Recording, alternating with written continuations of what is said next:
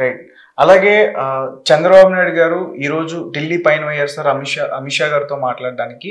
And చాలా మంది కూడా ఏమంటున్నారంటే జగన్మోహన్ రెడ్డి గారు కూడా ఇదే టైంలో వెళ్తున్నారు. రహస్యంగా భేటీ కావడానికి ఈయనేమో నరేంద్ర మోదీ గారితో రహస్యంగా కలుస్తున్నారు. ఇక్కడ ప్రజా దర్బార్ కూడా క్యాన్సిల్ చేసుకుని ఇద్దరు ఒకేసారి వెళ్తున్నారు. దగ్గరలో అసెంబ్లీ సమావేశాలు కూడా ఉన్నాయి.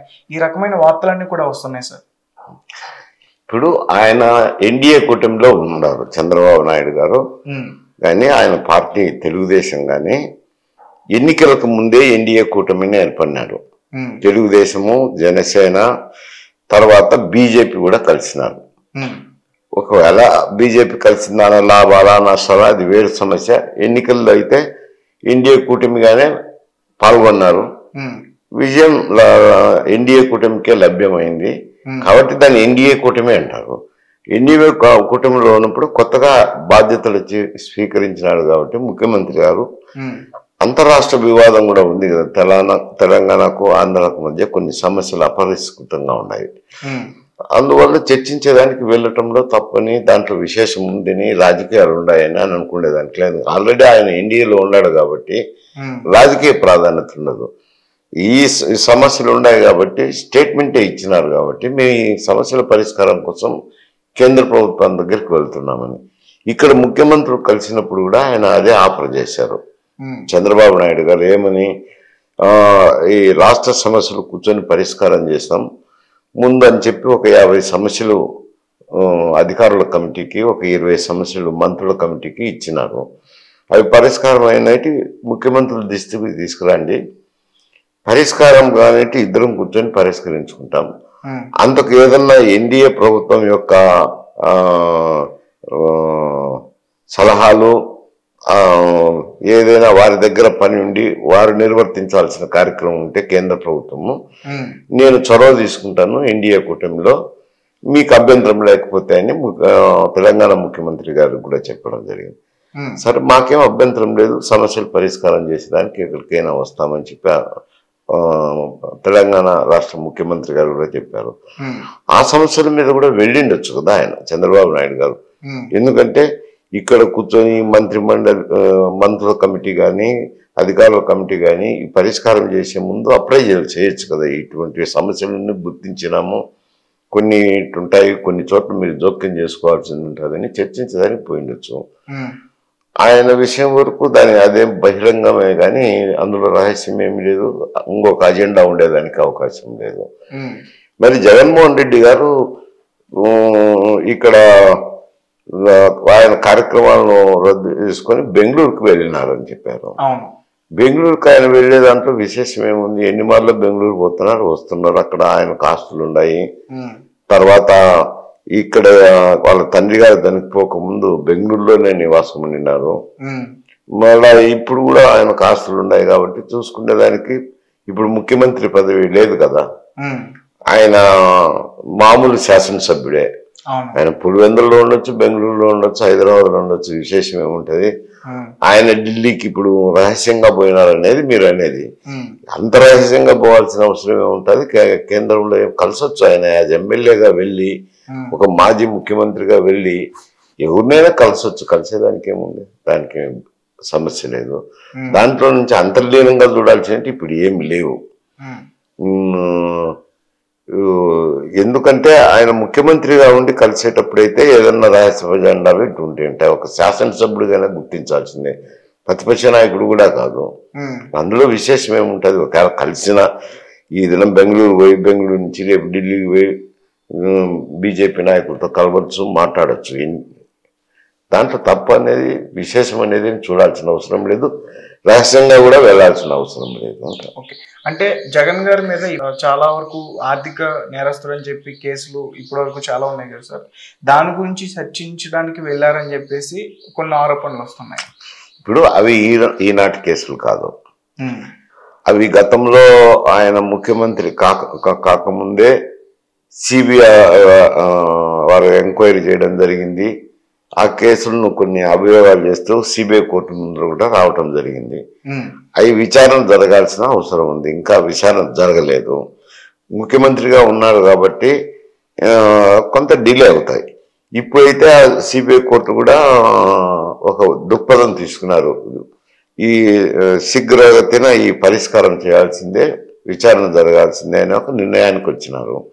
నిర్ణయానికి వచ్చి జరుగుతున్నది. న్యాయ విచారణ జరిగే జ్యుడిషియల్ రివ్యూ జరిగేటప్పుడు ఇప్పుడు కేంద్ర ప్రభుత్వం ప్రమేయం అనేది తక్కువ ఉంటుంది. ఇప్పుడు ఆల్రెడీ ఆయన గతంలో ఎన్డీకే ఎన్డీఏకే మద్దతు ఇచ్చారు చాలా కాంట్రవర్షియల్ బిల్లులన్నీ వచ్చినప్పుడు కూడా నాలుగైదు కాంట్రవర్షియల్ బిల్లులో కూడా ఎన్డీఏ ప్రభుత్వానికే మద్దతు ఇచ్చారు ఇప్పుడు కూడా వాళ్ళ పార్లమెంట్ నాయకులు మేము అడగని అడగకపోని ఎన్డీఏకే మద్దతు చేస్తామని చెప్పారు కదా. దాంట్లో బహిరంగంగానే చెప్పినారు ఓపెన్ గానే చెప్పినారు కాబట్టి ఆ సమస్యను మరో కోణంలో మరో కోణంలో చూడాల్సిన అవసరం లేదు. ఈ కేసులు అనేవి ఇక్కడ కోర్టులో ఉన్నాయి సిబిఐ కోర్టులో విచారణ జరగాలి. అవి ముందే ఫైల్ అయినాయి ఆయన ముఖ్యమంత్రి కాకముందే ఫైల్ అయినాయి. ముఖ్యమంత్రి అయిన తర్వాత విచారణలో జాప్యం జరుగుతూ వస్తుంది. ఇప్పుడు ఇంకా పురోగతి ఉంటుంది అనుకుంటాను ఆ కేసులు విచారణ జరిగేదానికి. సార్ ఇక్కడ మోదీ గారు కొంచెం తెలివిగా వ్యవహరిస్తున్నారని చెప్పుకోవచ్చా? ఒక పక్క జగన్ గారిని అలాగే ఒక పక్క చంద్రబాబు నాయుడు గారిని. అది తెలివిగా నేను అనుకోండి దానికి లేదు. అవసరం ఉందా అని? కాదు కాదు. ఇంతకు ముందు ఎన్నికల ముందు వాళ్ళు బీజేపీ వైఎస్ఆర్సిపి వర్సెస్ ఎన్డీఏ కూటమి అయింది కదా. అక్కడ తెలివిగా వ్యవహారం ఏముంది? కాకపోతే వీళ్ళు మేము మాకున్న సభ్యులను మద్దతు తెలుపుతాము అని చెప్పి వైఎస్ఆర్సిపి ప్రకటించినారు పార్లమెంట్ నాయకులు. ఇప్పుడైతే యాజ్ ఆన్ టుడే అయితే కొందరు రిటైర్ అయినారు కదా తొమ్మిది మంది పది మంది అనుకుంటా బహుశా రిటైర్ అయినారు కాబట్టి స్ట్రెంగ్త్ తగ్గింది ఎన్డీఏ స్ట్రెంగ్త్. మళ్ళీ ఈ ఎన్నికల్లో సర్దుబాటు అవుతుంది అనుకోండి. అది కొంత ఒక వన్ ఒక మంత్ ఒక మాసము రెండు మాసాల్లో సర్దుబాటు అవుతుంది. అయినా కానీ రాజ్యసభలో కొన్ని బిల్లులు కావాల్సిన దానికి వాళ్ళు కొందరి మద్దతు అవసరం ఉంది. అందువల్ల వాళ్ళు బేషరతుగా మద్దతు ఇచ్చేటప్పుడు ఎవరైనా తీసుకుంటారు కదా వద్దని ఎవరు అనరు కదా. సార్ అలాగే మాజీ మంత్రి బొత్స గారి మీద కూడా సిబిఐ విచారణ చేయబట్టబోతున్నట్టు కూడా వార్తలు వచ్చాయి. కొన్ని అక్రమాలు ఎక్కువగా జరిగినట్లు కూడా తెలుస్తుంది. రెండు వేల ఇరవై నాలుగు ఇరవై ఐదుకు సంబంధించి ఆయన ముందస్తుగానే కొన్ని అక్రమాలు చేశారని చెప్పేసి అంటున్నారు. జరగచ్చు. ఇప్పుడు ప్ర- ప్రభుత్వం మారింది. ఆయన మంత్రిగా ఉన్నాడు. ఆయన విద్యాశాఖన మంత్రి. విద్యాశాఖ మంత్రిగా కొన్ని నిర్ణయాలు విధాన నిర్ణయాలు తీసుకుండొచ్చు విధాన నిర్ణయాలు తీసుకున్నప్పుడు అది ప్రభుత్వానికి ప్రభుత్వ ఖజానాకు నష్టం కలిగించే విధంగా తీసుకు జరిగిండొచ్చు. జరిగింటే ఇప్పుడు ఆంధ్రప్రదేశ్లో ప్రభుత్వం మారింది కాబట్టి ఎన్డీఏ కూటమి వచ్చింది కాబట్టి వాళ్ళు విచారణ చేయవచ్చు. వాళ్ళ సిఐడి విభాగమైన విచారణ చేయొచ్చు. సిఐడి చేయకుండా మరి సిబిఐకి ఎందుకు అడుగుతారు? అడగరు కదా. సిఐడి వాళ్ళ సిఐడి వాళ్ళు చేయొచ్చు ఎక్కడైనా ఇప్పుడు ప్రభుత్వానికి వచ్చినారు. దాదాపు ఒక మాసం అవుతుంది. ఈ మాసంలో ఫైళ్ళలో ఏదైనా అక్రమాలు జరిగినాయని అనుమానాలు ఉంటే రాష్ట్ర ప్రభుత్వమే సిఐడి వేయచ్చు. సిఐడి విచారణ చేయొచ్చు. ఓకే. అంటే ఇప్పటి వరకు కూడా బొత్స గారు బీజేపీకి మారిపోతున్నారు ఆయన త్వరలో పార్టీ చేంజ్ అవబోతున్నారు అనే వార్త కూడా వచ్చింది. అంటే ఇలాంటి తరుణంలోనే.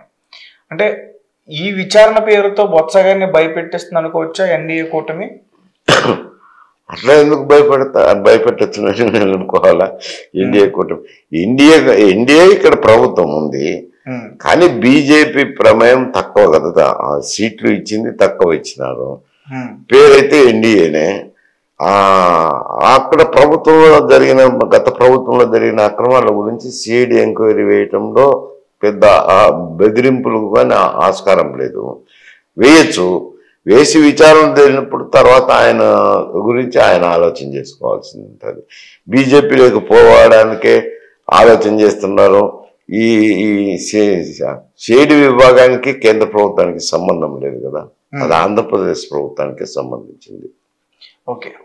సరే ఇక్కడ పేరుని నాని గారి గురించి మాట్లాడుకోవాలి. చాలా రోజుల తర్వాత ఆయన బయటకు వచ్చి ఒక మాట్లా ఒక ప్రెస్ మీట్ పెట్టారు. అంటే ప్రెస్ మీట్లో ఆయన ఏం చెప్పారంటే వైఎస్ఆర్సీపీ పార్టీ వల్ల ప్రజలు లబ్ధి పొందారు. కానీ ఆ పార్టీ కార్యకర్తలు తీవ్రంగా నష్టపోయారు. ఎమ్మెల్యేలు మంత్రులు కూడా అందుకే ఓడిపోయారు అని చెప్పేసి ఆయన అన్నారు. సో దాని గురించి. అంటే ప్రభుత్వం నుంచి లబ్ధి చేకూరింది. అనేది కదా ఆయన ప్ర- ఆ, చెప్పుకుంటాండి అది. ప్రభుత్వానికి రెవెన్యూ ఎట్లొస్తుందో ఆయన ఆలోచన చేసుకోవాల్సింది ఉంటుంది రెవెన్యూ అనేది ఎక్కడి నుంచో ఓ నోట్లు ముద్రణ చేస్తారేనో లేకుంటే కేంద్రం ఏదో మూటలు కట్టి ఇస్తాదేనో లేదు. రెవెన్యూ అనేది ఇక్కడ ఆంధ్రప్రదేశ్లో ఉన్న ప్రజానీకం పన్నుల ద్వారా చెల్లించిన ఆదాయమే.